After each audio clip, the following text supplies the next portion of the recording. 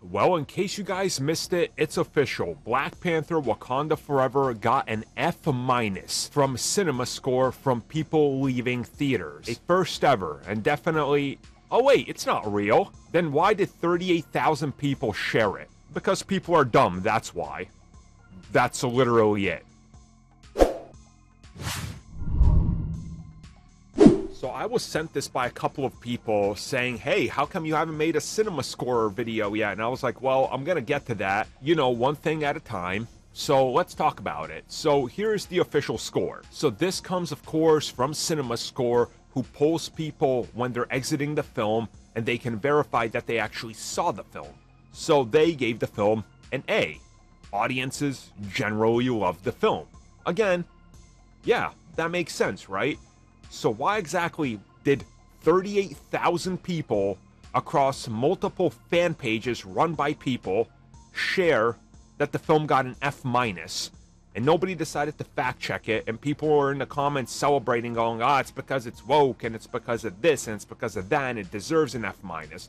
Well it's because people are dumb and they're not going to fact check these pages who literally built up their entire personality on hey let's lie let's confirm that the Duffer brothers, or whoever the, I think that's the brothers from the Stranger Things, that they're directing Secret Wars. Hey, let's confirm that Tobey Maguire is back in the Kang Dynasty. They just make up things and put them up daily. Nobody fact checks them.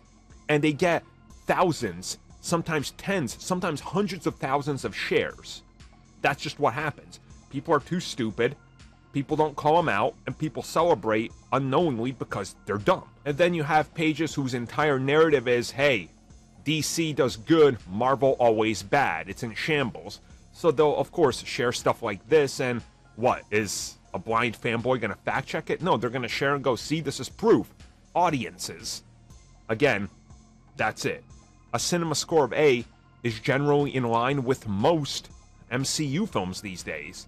So yeah, it's good, right? It's a good score. There's nothing here. People genuinely love the film. We're seeing a lot of great feedback in regards to many elements of it. Yeah, it's also getting some flack. Again, I have quite a few problems with the film. One specifically involving a character that if you remove them and the entire subplot, it would make no difference at all. Literally zero. I don't know why the character is in the movie after that one scene, but they are. And it's clearly to set up other things in the MCU, which again can always be a complaint, but as a whole, it is what it is. And um, yeah, the film is generally well received. Now, some people will wonder why didn't I talk about the cinema score of Thor: Love and Thunder and Black Adam? I did. The video, um, yeah, it didn't pass the YouTube standard because of my language I used in it, so that went to members exclusively. But trust me, I very much get into the cinema score on both of those, and it's just a uh, giant rant and ramble of me yelling. So yeah, um, there you go. There you go, cinema score. But we all know it's all about the Rotten Tomatoes score. I can hear you yelling. I can hear you yelling about it. And yes, it's correct. It's all about the totally you can't manipulate score by audience reviews on Rotten Tomatoes.